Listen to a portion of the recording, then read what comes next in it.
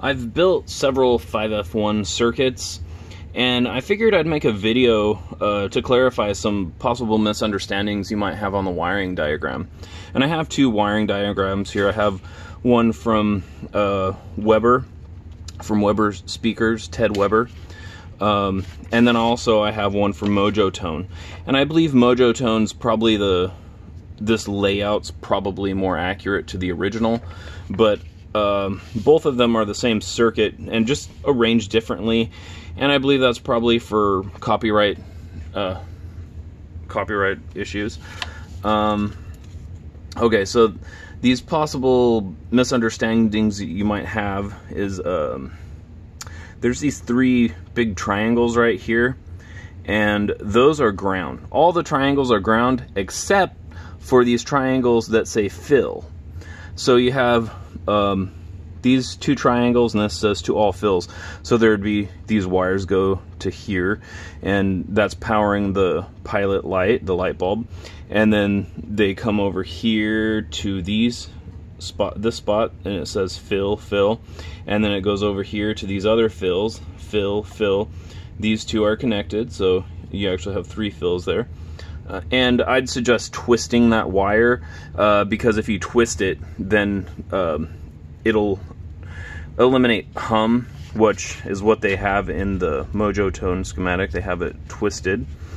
Um, and what other problems might you have? Let's see. Uh, in the output transformer, there's these two wires, and then it shows, it looks like a connection there. It's kind of confusing. Uh, the red wire goes here, and then the blue wire goes here to uh, terminal 3 on the 6v6 tube. Um, yeah, and all these other triangles are ground.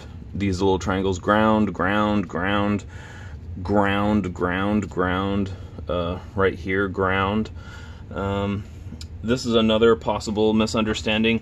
Uh, on the transformer I have, I have, this shows only two wires, but I have three. I have a black one, a green one, and a yellow one. And I believe the green was, uh, I think the green was 4 ohms and the yellow was 8 ohms. Uh, you might want to double check that. So the black one will go to ground. You can just, you don't have to bring this all the way over here. You can put the black one anywhere grounded on the chassis. Or you can bring it up here, that's fine. And um, this jack's automatically grounded, a jack like this. Uh, this part is grounded and it's connected to this part right here. And power goes from here to here, so it's uh, all connected. So, so yeah, that's ground. So if you connect the ground here, it will be grounded to chat the chassis, and then the this other wire goes to the positive. But then you have a third wire. So where do you put that? Um, the third wire, well, um, I guess the only option really is a switch. And uh, well, before I get into that, you also have this wire, the 22k coming from the 22k resistor, and this goes to positive.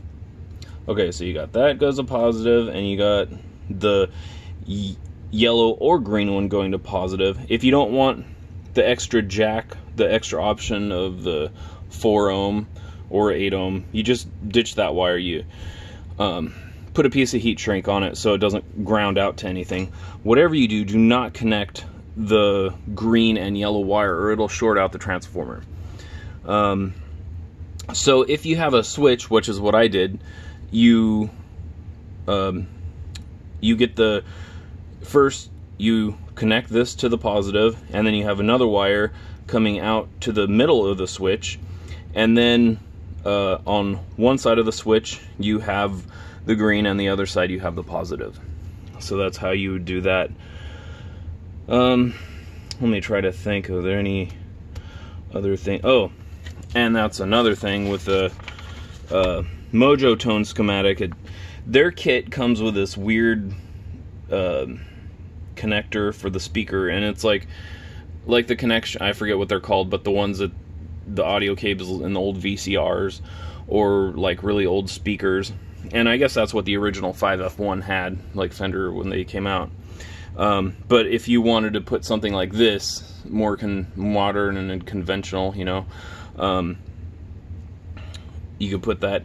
And it's confusing because it shows these two wires going to this. And it's like, okay, which one's positive and which one's negative? Like I said before, this is only already grounded. So only this is positive. Both wires go to the positive side. You got this, what I think it was a 22K resistor going to positive, and you can't see the transformer. The transformer's behind this. There's a wire coming out of that grommet, and it's going to positive. So the, both of those are positive. And, um, and they don't even hook a negative wire up there because it's only already grounded to, to the chassis. So this, this wire is ground. You wouldn't even have to hook up a wire there. And then this wire is positive. So you just hook up a wire to the positive.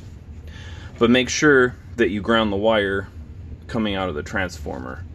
Unless, I don't remember their transformer, maybe it's only already grounded, so maybe when you bolt the transformer up, it's grounded to the chassis.